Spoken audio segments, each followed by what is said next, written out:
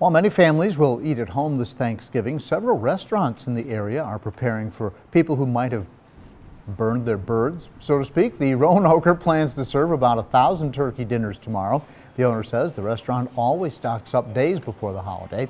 This year, the Roanoker is working with nearly 900 pounds of dressing and more than 100 whole turkeys. The restaurant stays open for the holiday, and that's become a tradition.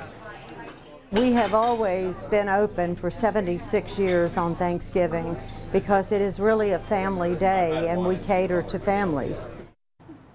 The Roanoker is open tomorrow from 8 a.m. until 9 p.m. To see a full list of popular restaurants that will be open tomorrow, just go to WSLS.com.